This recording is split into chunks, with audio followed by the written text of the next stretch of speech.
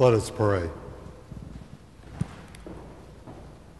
All loving God, parent and guardian of all people, we turn to you this day grateful for the love, care, and concern that you shower upon all.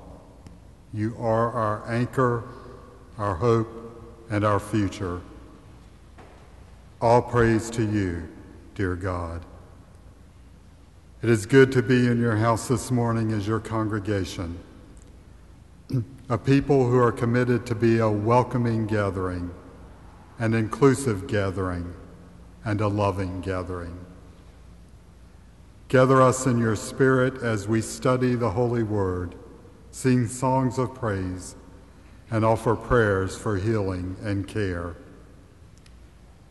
As we see and hear about the refugees and migrants escaping death and looking for safety in Europe, we pray for all of those who are uprooted, who are hunted, who are fleeing for their lives, and who so often find only closed borders, closed doors, and closed faces.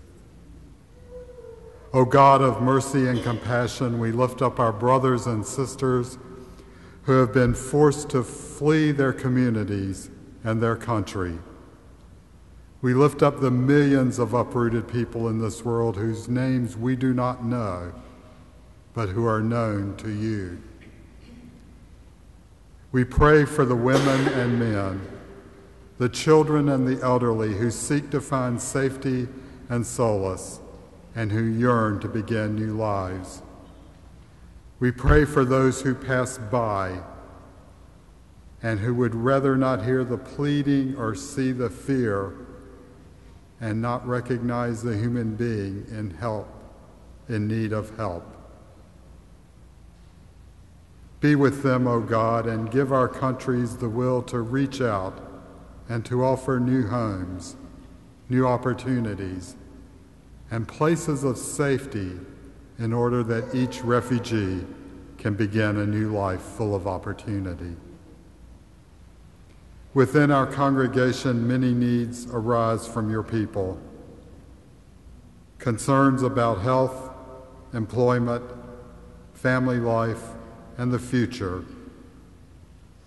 Dear God, at this moment, hear our prayers as we lift them up to you for the love and care that only you can give.